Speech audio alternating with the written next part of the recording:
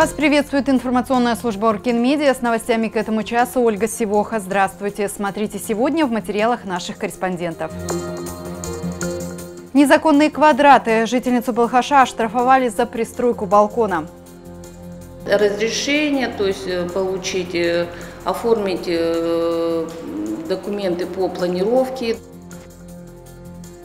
Новый спорт. Открытие фитнес-клуба «Батржим». Сделано с душой ради нашей молодежи. Праздник нам приходит, когда зажгут главную городскую елку.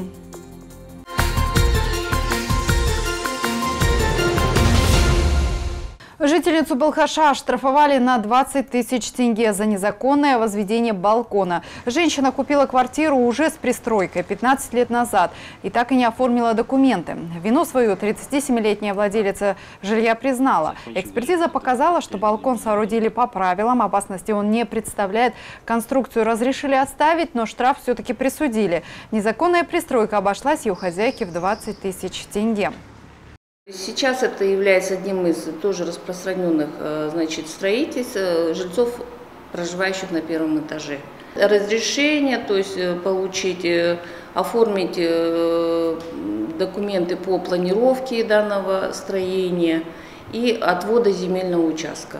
То есть в любом случае, раз балкон возводится, это строение и какие-то необходимые значит, сооружения нужны на земельном отводе, потому что этаж первый, в день судья Лиза Цигимвекова рассматривает около 30 дел. Так, с начала года набралось уже почти 2000. На первом месте по численности мелкое хулиганство. Почти 650 человек привлекли за загрязнение общественных мест. За это нарушители выплатили штрафов на 8 миллионов тенге.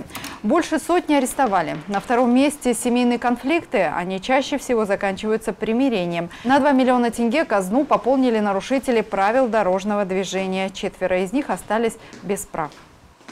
Материалы поступают из органов внутренних дел, судебный исполнитель, у них тоже имеются такие материалы, по которым это предусмотрен административный арест. Значит, данные материалы рассматриваются в день поступления, значит, регистрация производится, и, соответственно, в день в день мы обязаны их рассмотреть по срокам и вынести э, по ним решение в виде постановления, и которое также исполняется немедленно. Денежный ряд. Нацбанк выпустил три памятные монеты, две выполнены из серебра, одна из сплава Незельбер. Монета с днем рождения является третьей прямоугольной формы и продолжает серию «Монета-подарок». К ней прилагается сертификат качества, в котором предусмотрено несколько свободных строк для письменного адресного поздравления. Тираж 5000 штук. 3000 экземпляров выпустили монет «Любовь» номиналом 500 тенге. На лицевой стороне в центральной части стилизовано изображение сердца с орнаментальной вставкой. Еще одна памятная монета посвящена Петропавловску. Герб города украшает оборотную сторону денег. На аверсе изображена орнаментальная восьмиугольная розетка и элемент национального орнамента. Номинал 50 тенге, тираж 50 тысяч штук. Елочка гори! Болгарцы готовятся встречать Новый год. На центральной площади уже установили зеленую красавицу и одели в праздничные украшения. Сегодня дополнили образ звездой на макушке. Засверкает убранство через два дня. По традиции зажигать елку будет таким у города, сопровождать мероприятие будет театрализованное представление. Сначала от Дворца культуры стартует праздничный кортеж из четырех лимузинов. Следом по главным улицам пройдут около Тысячи сказочных героев, ростовых кукол, Дедов Морозов и Снегурочек. Под новогоднюю музыку они будут развлекать и поздравлять горожан. Конечная точка шествия – площадь независимости. Продолжится гуляние с зажигательным концертом. Стоп-кадр. Телеканал Оркин Медиа запускает конкурс «Главный приз» 10 тысяч тенге. Чтобы его получить, придется вернуться в прошлое и повторить один момент из жизни. Задание простое – составить фотоколлаж, воспроизвести один момент, который до этого попал на пленку. Главное, чтобы второй снимок был на том же месте с теми же героями. Заявки принимаются на нашей странице ВКонтакте до 25 декабря. Автора лучшей работы назовут 28 декабря, его выберет наша креативная комиссия. Победитель только один, он получит 10 тысяч тенге.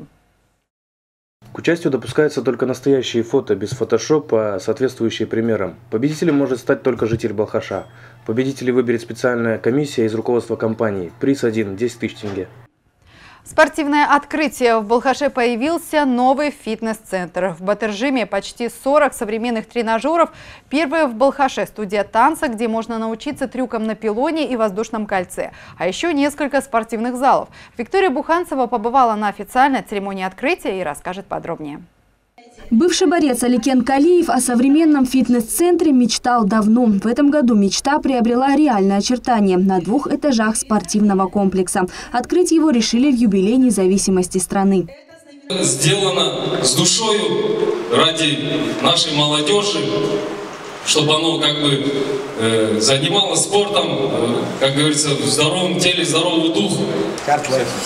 Итак, дорогие друзья, я думаю, нам всем дружно вместе нужно крикнуть Красная лента открыла балхашцам новый спортивный мир. В тренажерном зале есть единственная в городе кардиозона. Здесь на вкус и цвет, а точнее на разные группы мышц, 10 аппаратов. Начинать лучше с кардиотренировки. Эллиптический тренажер улучшает дыхательную систему, развивает выносливость и разогревает мышцы. Зоны для ног, верхней части тела и тяжелоатлетический помост собрали почти 40 видов тренажеров и снарядов. На каждом инструкция для самостоятельных занятий. Дополнить их можно специальным рационом. В Батыржиме работает единственная официальная точка спортивного питания. Наш зал, получается, самый современный системы вентиляции воздуха, приточки кислорода. Здесь постоянно свежий воздух. В нашем зале есть тренеры, которые э, э, занимаются с клиентами персонально. То есть составляют индивидуальный график тренировок и питания, составляют, э, доводят до результата. Гимнастическим трюкам на пилоне научат в студии танца «Пластилин». Это первая и единственная школа в городе по пол-дэнс. Акробатические элементы даются даже начинающим. Оказаться на высоте может каждый.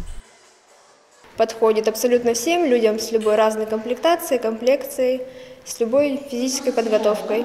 Это замена фитнеса. То есть в фитнесе мы можем качать одну группу мышц, здесь мы качаем разные группы мышц сразу. Задействовано все тело. Заниматься у нас можно с 16 лет, но в дальнейшем после Нового года планируем набирать детские группы и развивать новые направления. В дополнение в распоряжении посетитель Батыржима залы единоборств и настольного тенниса, удобные раздевалки и сауна. И все по доступным ценам. Найти это можно по адресу микрорайон Мухамеджанова, 10, дробь 2. Виктория Буханцева, Мурат Булатбеков, Оркин Медиа. День независимости балхашцы отметили спортивно. На нескольких физкультурных площадках прошли соревнования по футболу, дзюдо и намат. В одних победила дружба, в других отбирали на региональные турниры. Поболеть за своих вместе с горожанами пришла и наша съемочная группа.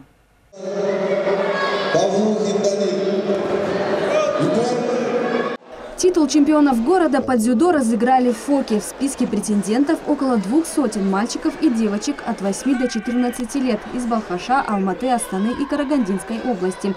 Боролись спортсмены за именной кубок. Первенство посвятили балхашскому дзюдоисту Руслану Ильдибаеву. Неоднократный победитель турниров погиб почти год назад. Теперь его дело продолжает молодежь. сол жылдары илдебаев руслан я занимался с Русланом со школы седьмого класса. Он всегда был очень активный и упорный. Шел только к победе. На соревнованиях всегда показывал себя профессионально. Его ждало большое будущее. Хотим, чтобы молодые спортсмены следовали его примеру. В зале стадиона «Металлург» на ковер вышли борцы на мат ММА. 40 юных спортсменов выбирали сильнейших, чтобы выступить на международной арене. Победители будут отстаивать честь города на первом в стране чемпионате мира среди юношей, который пройдет в начале 2017 года в Караганде. По соседству с молодыми борцами в футбольной схватке сошлись ветераны, те, кому за 50. На поле вышли четыре команды. ФОК, Казахмыс, сборная бывших депутатов и физруки школ и колледжей. Здесь главное был не результат, а удовольствие от игры. Поэтому победила дружба. В Дню независимости, значит, организовали этот турнир ветеранский. Ну, я думаю, он пройдет э, на ура, потому что давно не играли, давно не участвовали, все с удовольствием принимают участие. Виктория Буханцева, Думан Колыбаев, Оркин Медиа. Это все новости на сегодня. Следующий выпуск завтра в 20.15 на экране телефона редакции. Пишите и звоните, присылайте фото и видео с мест происшествия и интересных событий. Смотрите новости на Оркин Медиа и делайте новости вместе с нами. Всего хорошего.